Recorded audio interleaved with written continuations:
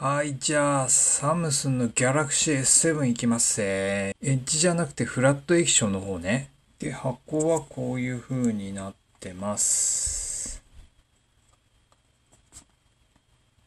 ゴールドプラチナムって書いてあるね。えー、っと、横はこんな風になってます。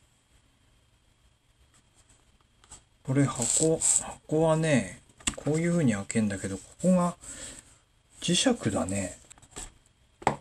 ね。それで、これ本体ね。ほほう。エッジじゃないから液晶面はフラットですよと。ね。で、後ろはこういう風に曲がっていると。こういうデザインになってますね。本体の下には何が入ってるか。あ、こういう紙と。あとは、これ何？こういう風にスッと出るようになってると。うん、やっぱこれイジェクトピンだね。こういう独特な形をしたイジェクトピンになってます。マニュアル類が入ってますと。で、その下には、まずこれ AC アダプターね。海外バージョン。こんなやつ。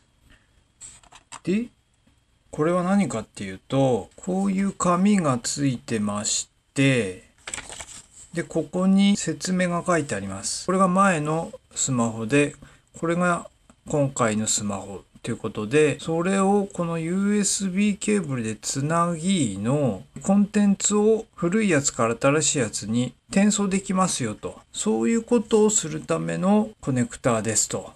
いうことですね。こんな使い方もできますよと。USB フラッシュの接続にも使えるし、キーボードとかをつないで使うこともできますよと。